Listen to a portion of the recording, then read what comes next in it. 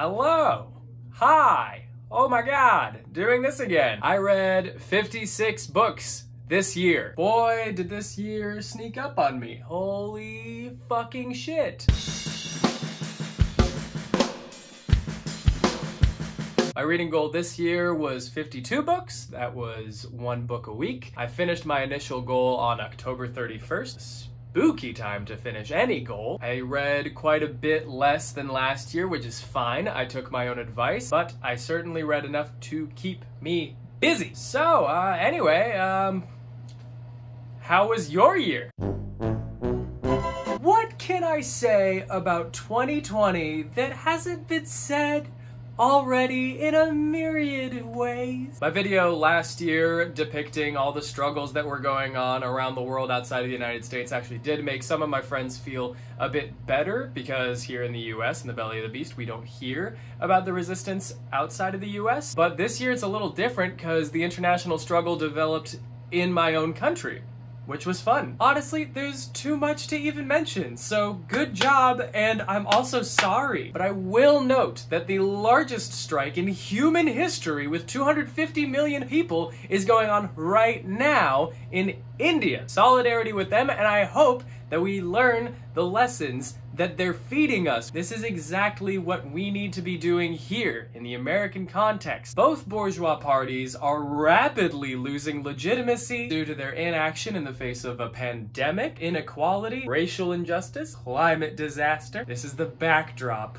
for my reading habits. Mm. The need for strong working class, independent parties and organizations has never been felt to be more important and critical than it is now. We need to continue to develop that in the oncoming year, which is just a change of number. Everything's the same. Everything's the same. So, what did I read? Well, first off, I reread some things. I reread my beloved works from H.G. Wells, and I also reread Mary Shelley's Frankenstein. And I think my favorite reread of this year was War of the Worlds. War of the Worlds is the first book that I ever really read social critique into. I was reading this and I was like, this has got to be about something, right? I'm all like backstage for Fiddler on the Roof, 17 or whatever. And I'm like, oh man, aliens doing imperialism to us, but we do imperialism to other people. Now it's bad. It was great rereading it, and it's the blueprint for a bunch of really fun movies. On to fiction. You may notice that I've read a lot more fiction this year. The reason for that is that I became an English major. I decided to add another major. I'm now a philosophy English major and a film minor. And a very employable day to you, sir. So, in terms of plays, in terms of theater, I only read one piece of theater, and it's Rosencrantz and Guildenstern are dead. This may have been an attempt for me to redeem myself and try to appreciate Shakespeare because last video I revealed to you that I don't really like reading Shakespeare because I'm impatient and obtuse. But let me tell you that it was fine. On to young adult and normal fiction, we'll call it.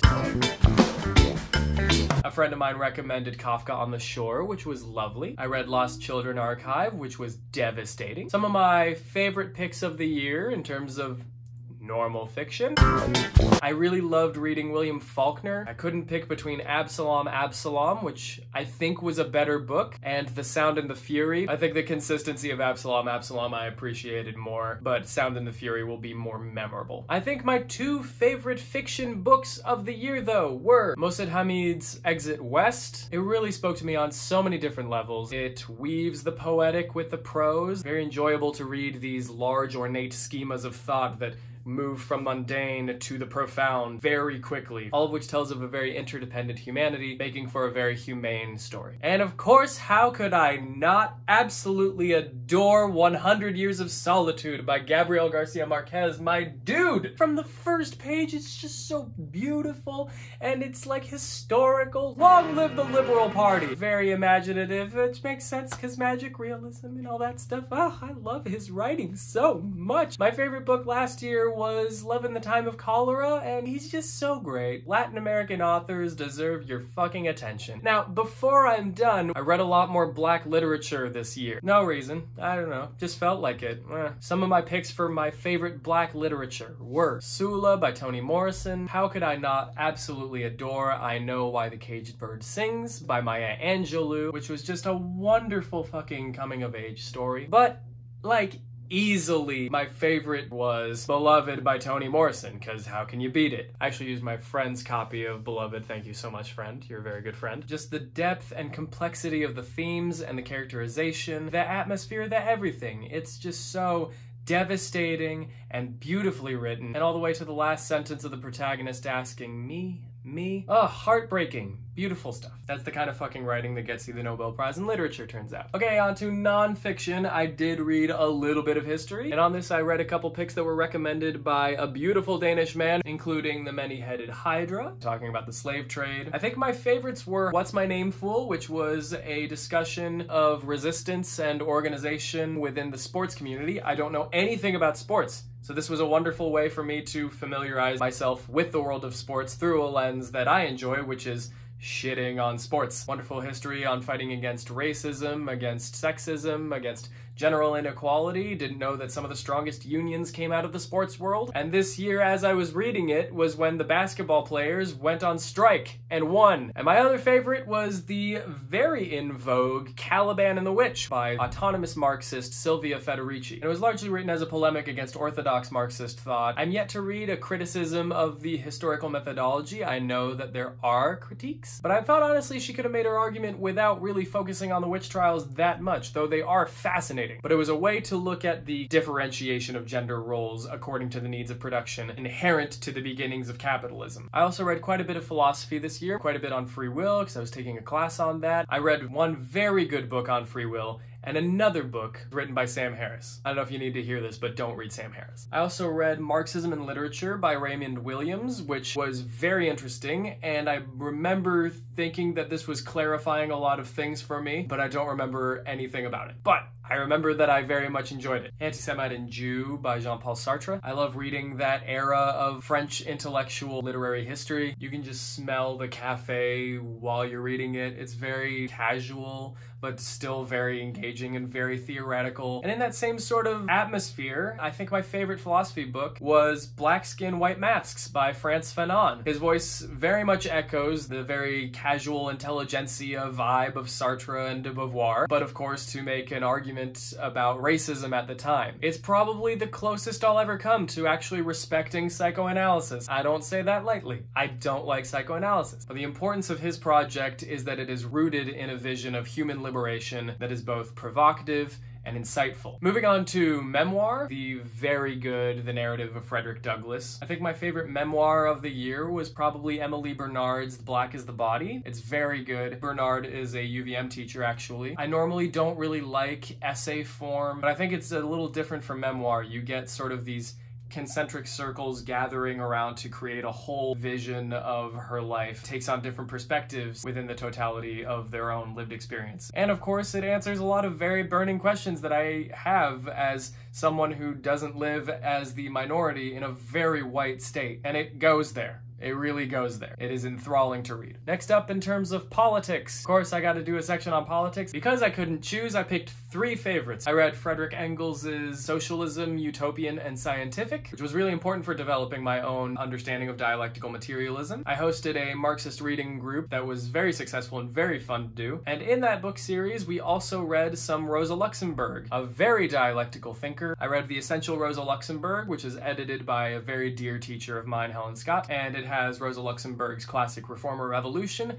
as well as the very important The Mass Strike, which I actually liked more than Reform or Revolution. We were actually not going to read The Mass Strike for the reading group, but we ended up reading it because so many people were going on strike because it was a pandemic. I don't know if you noticed this, but the ruling classes accidentally told us who the essential workers were. Whoops. And then once the Black Lives Matter movement started up again, I decided to pick up a book that's been on my shelf for way too long, which was The Black Panthers Speak edited by Philip S. Foner. It's a compilation of news clippings and pamphlets, speeches that key figures made. It's omitting certain voices in the Panther Party that I thought would have been pretty critical, but that being said, I mean, it was so wonderful to just dive into that. Talking about the Black Panthers back in 2016, 2017 was actually one of the things that radicalized me. I got to learn a little bit more about their particular brand of Marxist Leninism, and it is really all their flaws and strengths. And it's important to also notice that a lot of the Black Panthers were fucking kids, and they were figuring it out as they went along. And importantly, they kept raising their internationalism no matter what, always talking about what was going on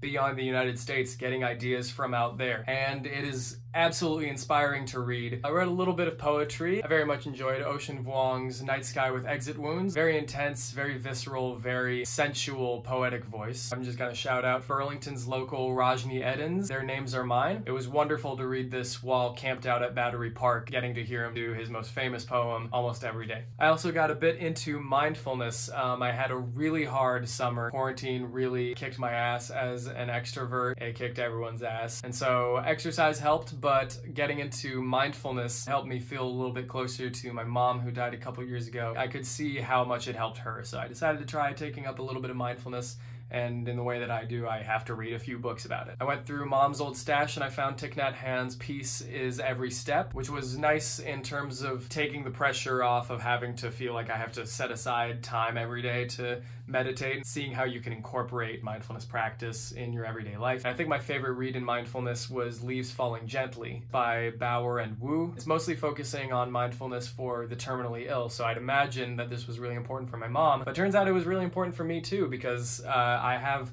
breathing problems. I found out I have anxiety tethered to my breathing, so I can't focus on my breathing when I meditate. So, of course, they had to accommodate that because they're talking about people with disability. So, that was really important to read. So, anyway, that's it for what I read. I am currently reading Irish Liberation, edited by Ulick O'Connor. And I'm doing an independent study right now. I kind of fucked my vacation over because I decided to read all of Being and Nothingness by Jean Paul Sartre. I'm 300 pages into Being and Nothingness. Wish me luck. It, I'm, I'm spending like six to 10 minutes per page on this, and there's 800 pages. Oh my god, why did I do this? So for next year, I might do 52 books, might try to do that reading goal, a book a week, but I think my main goals are gonna be to read the Lord of the Rings books. I'm taking a class on Tolkien's Middle Earth, and I'm also gonna make sure that I read Leo Tolstoy's War and Peace all 1,000 plus pages of it, and Karl Marx's Capital all 1,000 plus pages of it. So I'm very excited. Those are the main things, no promises beyond that. There's a question that's been kind of bothering me this year, which is why do I read? Why do I read so much? Why do I read what I do? Why do I even bother reading? During the isolation of the pandemic, the threat of nihilism was always near and it was debilitating. One of my favorite aspects about reading is the fact that I can share and have conversations about reading with other people. I just didn't have that this year for large large amounts of it. I first started reading a lot after my mom died, and it was just a really good way to cope and deal with grief and escape and process in a different way. But this year, with my dad dying, I just have overall less energy. I'm just tired all the time these days. However, Importantly, reading goals do give me a project for organizing my life. Doing these videos is actually something that I really look forward to all year. It's one of the few things that I look forward to. I'm not really that good at planning ahead. And of course, reading is a source of edification that bleeds into all other areas of my life, even when it's prying me away from the harder parts of it. And it's just always there when I need it. So if you're not reading because you're too tired or you don't feel like it, that's very fine. It's just a thing that I do, one that brings me a lot of joy. Anyway, I'm graduating soon. I've got one more semester. I'll be done in May or June. I don't really know where the next step will take me. I'm thinking I might move out of Vermont. I don't know where I will be this time next year, but I look forward to educating and growing with you all until then. I've also spent the last few months working on fixing up my parents' old house uh, with my little brother Tishan, who I love very much. It's prettier than it ever has been. It's the most fulfilling project that I've had all year, especially since dad died. My dad had some huge shelves in his office that I look forward to filling with my own books um, in the coming years. I do hope to share all of that with you someday when we're all allowed to be in the same room together. So anyway, happy new year. 2021 is upon us. A vaccine is in the works. Let's not fool ourselves into forgetting the lessons of 2020. Now is not the time to be getting passive. Don't give up, stay vigilant, educate, and of course, enjoy the moments in between. Didn't quite end on the big Marxist energy I was hoping to end on, whatever.